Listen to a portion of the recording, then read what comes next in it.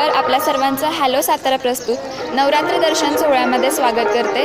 आज नवरात्रीचा दुसरा दिवस आहे दुसरी माळ आहे. त्याच निमित्ताने आपण आलेलो आहोत साताऱ्यापासून वीस ते साधारण वीस ते पंचवीस किलोमीटर अंतरावर असणाऱ्या देऊर या गावातील मुदाई देवीला. चला तर मग देवीचं दर्शन घेऊयात.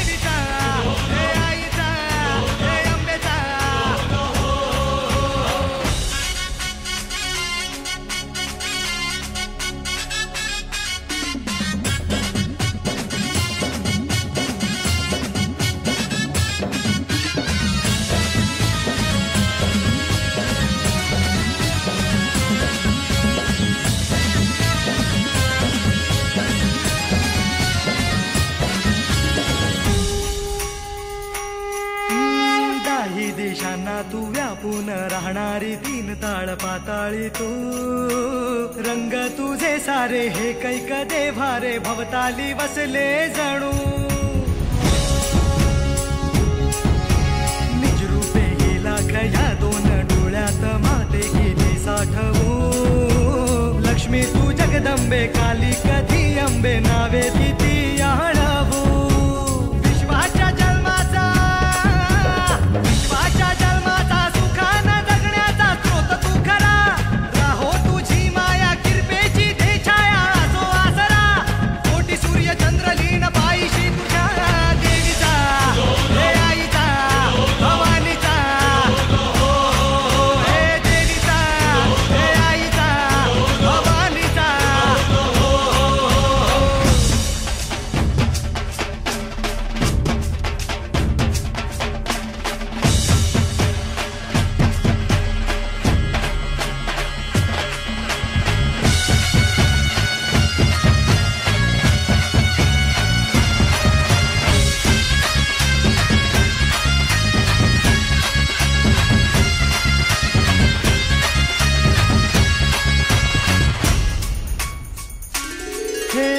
अंधार जागला चांद हा भागला दाटो जरी सावल्या.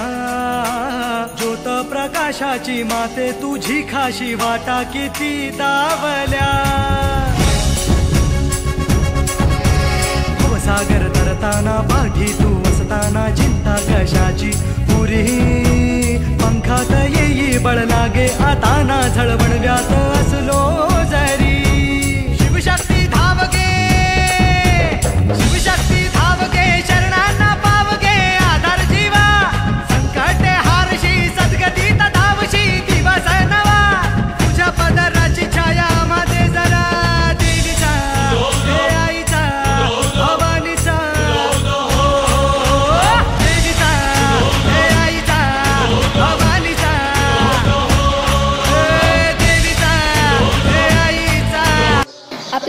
या मंदिराचे पुजारी आहेत. आपण त्यांच्याशी थोडीशी बातचीत करूयात. नमस्कार. नमस्कार. अ, मला सांगा या मंदिराचा इतिहास काय आहे किंवा मुदाई देवीचा इतिहास काय आहे? अ, नमस्कार. माझं नाव मंगेश गुरव. अ, मी मुधा मुधाई देवीचे पूजे अर्चा वगैरे सगळ्या विधी आम्ही पार पडतो. अ, मुधाई देवी जी आहे ती कोल्हापूरची थेट महालक्ष्मी अंबाबाई आहे. अ, दे देऊर गावापासून दोन ते दोन ते तीन किलोमीटर अंतरावरती दहेगाव गाव आहे. तेथील भक्त मुधोजित चव्हाण. यांनी महालक्ष्मीची जवळपास शंभर वर्ष सेवा केली. शंभर वर्ष सेवा केल्यानंतरनं त्यांनी देवीला सांगितलं की बाबा आता माझी सेवा होणं अवघड आहे. सेवा सेवा करण्याची पद्धत अशी होती की ते सकाळी पहाटे चार वाजता इथून निघायचे आणि दुसऱ्या दिवशी पहाटे चार वाजता ते कोल्हापुरात असायचे. तिथून पाणी घातल्यानंतरनं ते परत आपल्या गावी यायचे. अशी त्यांच्या नित्यनेमाची सेवा होती. कौटुंबिक सगळा जे काही कामं करत करत त्यांनी महालक्ष्मीची अंबाबाईची सेवा केली. त्यांनी सेवा पूर्ण झाल्यानंतरनं देवीला सांगितलं की आता बाबा माझी सेवा होणं अवघड आहे. तर तू माझ्या घरी चल. महालक्ष्मी अंबाबाई त्यांना प्रसन्न झाली. त्यांनी देवीला सांगितलं. देवीनं त्यांना सांगितलं की तू आता तू माग तुला काय हवं आहे ते. तर त्यांना लहान मुलीची आवड होती. त्यांनी सांगितलं की आता तू माझ्याबरोबर लहान मुलीच्या रूपात चल.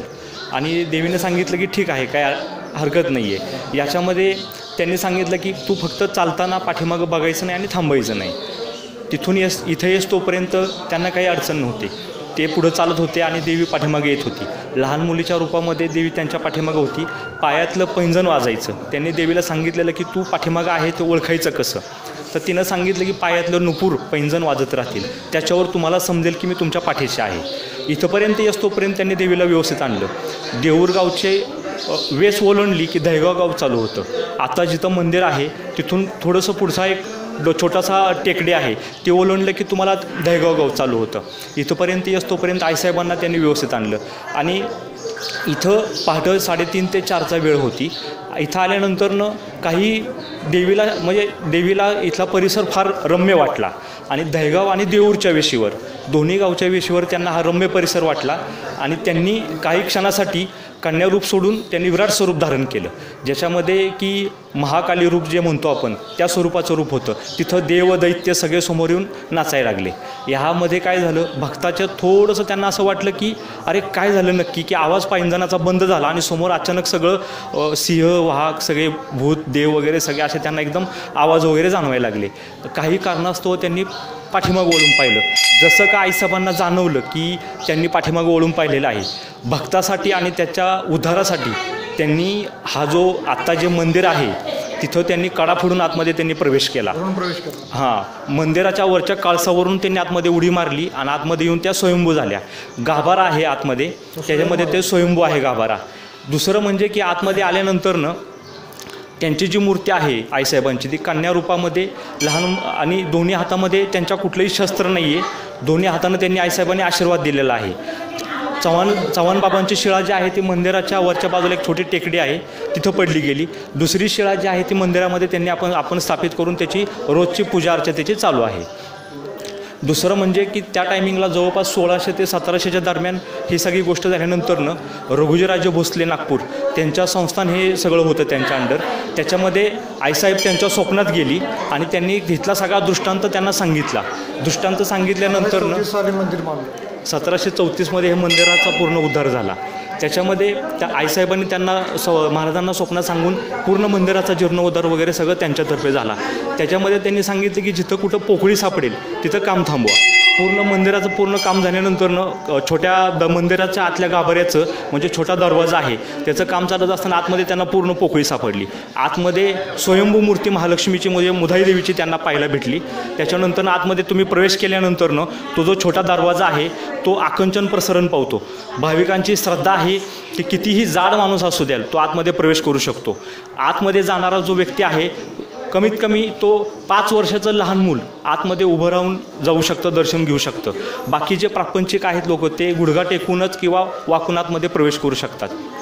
आतमध्ये गेल्यानंतरनं स्वयंभू मूर्ती आहे. दोन्ही हातानं तिनं आशीर्वाद दिलेला आहे. कोणत्याही पद्धतीचं शस्त्रास्त्र हातामध्ये नाही आहे त्याच्यानंतरनं देवीच्या डोक्यावरती आडवं जवळपास पंचवीस ते तीस फूट आणि वरती चाळीस ते पन्नास फूट नागमोडी वयनानं फाटलेलं आहे पूर्ण.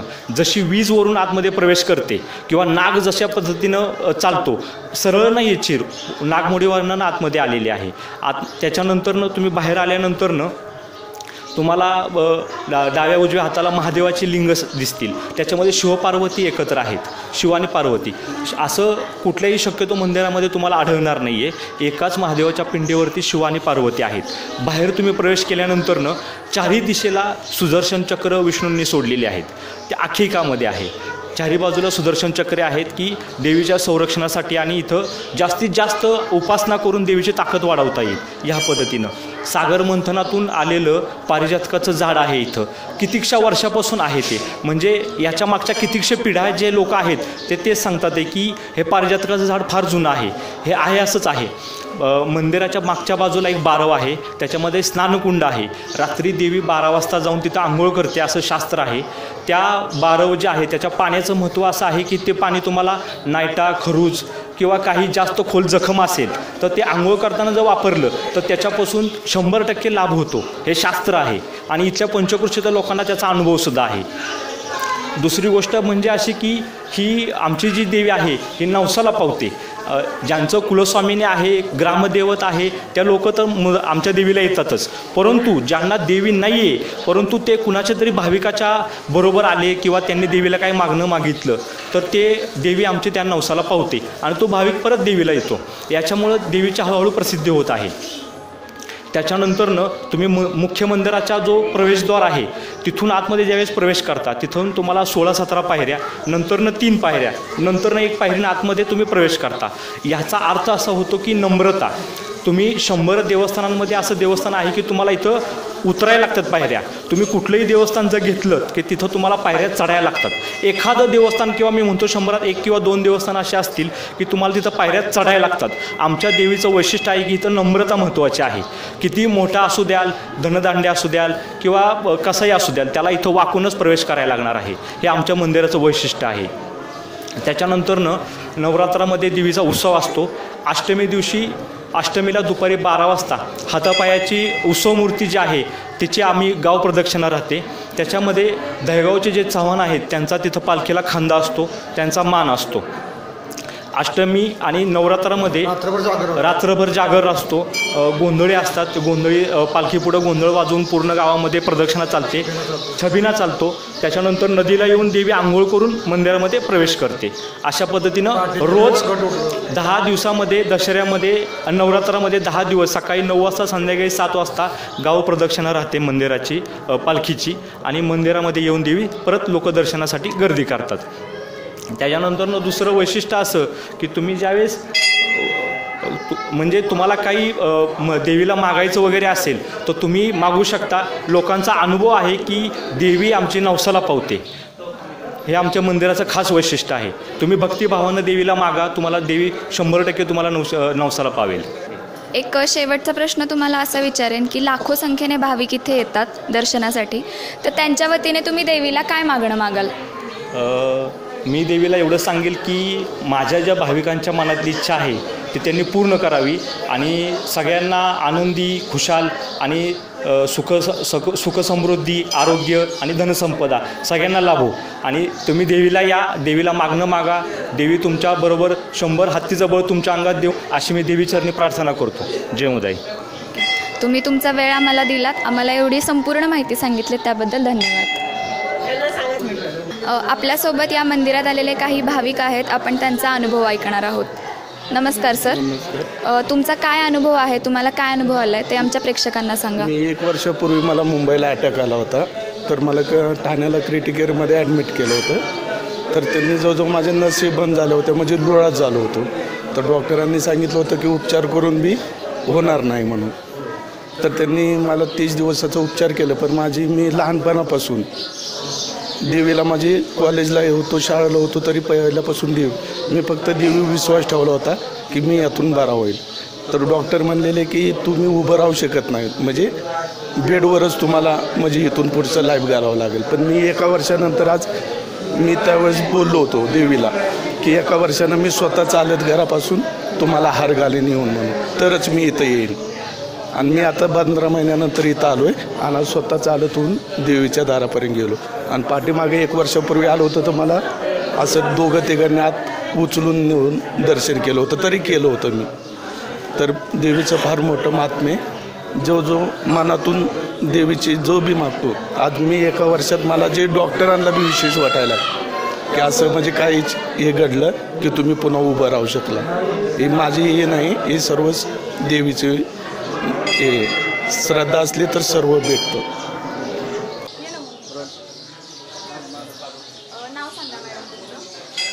रुपाली प्रवीण जगताप. कुठून आलाय तुम्ही? आम्ही सासवडवरून आलो किती वर्ष झाले दर्शनासाठी येताय तुम्ही? आम्ही बरेच वर्ष झाले. म्हणजे लहानपणापासून येतो आम्ही. माझी माहेरची देवी आहे ही. तुमचा असा काही अनुभव आहे की तुम्ही देवीकडे एखादं मागणं मागितलं आहे आणि त्या देवीने तुमचं पूर्ण केलं तुमची इच्छा पूर्ण केली असं काय तुमचा अनुभव आहे? खूप सारे तसे. म्हणजे सांग. म्हणजे खूप अनुभव आहे देवीचा. आणि खूप प्रसन्न वाटतं मी म्हणजे इथं आल्यावर. खूप छान वाटतं. आम्ही दर दरवर्षी नवरात्रात तर येतोच. परत आधीमध्ये पण आवर्जून येतो. लग्नाच्या आधी पण यायचे लग्न झाल्यावर सुद्धा मी आता माझ्या घ माहे सासरच्या पण सर सगळ्यांना घेऊन येते. त्यांनाही खूप मस्त अनुभव आला आला आहे देवीचा.